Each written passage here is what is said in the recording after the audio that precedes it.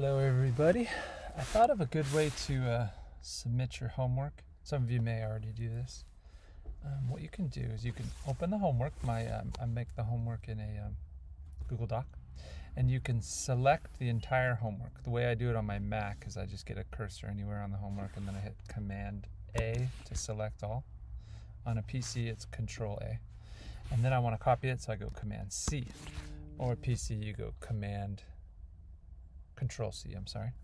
And then I'm going to go over and I'm going to create a new uh, Word doc. I already had one open, but you from the beginning. So if I go to Google Docs, not Word doc, Google Doc, and then the bottom right hand corner, hit that plus symbol, get a new one here. And now this would be your Google Doc now. It won't be mine that you copied from. This way you can edit it. Okay, so I paste Command V. I pasted in the entire homework.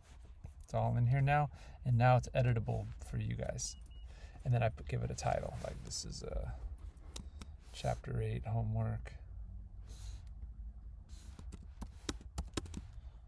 And give your name to student X okay. You got a name on it and then you go through and you do it. So one way to do it is like on this first one you have to answer something. You're supposed to click through this animation let's say you did it and then you take the quiz. So let's go to the quiz and then the quiz, you can print this quiz out, and handwrite it. Or if you want to do it all on the computer or on a tablet, you can um, do it that way too, however you like to do that. One way,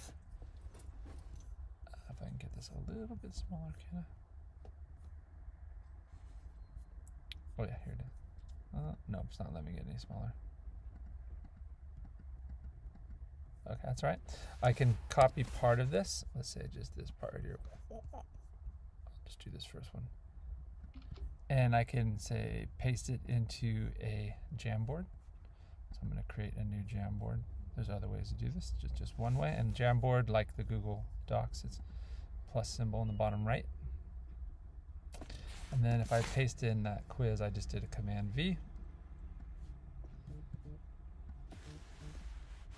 Then I can uh, answer this.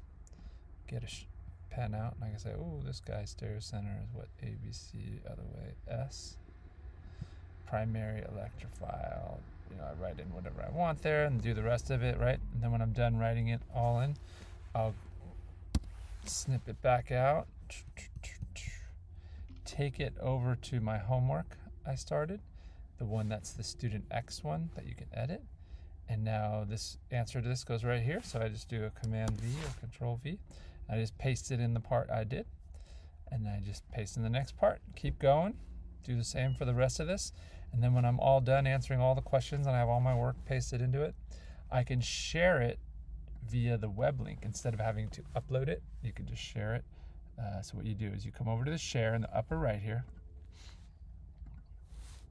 And you have to make sure to change it from being restricted. See how it says restricted, only people added can open this link. That's a, that's a hassle to deal with. So change it to change to anyone with link. I click on that and now it's already automatically changed. I just need to copy it. And you you don't need to make me an editor. Viewer is fine.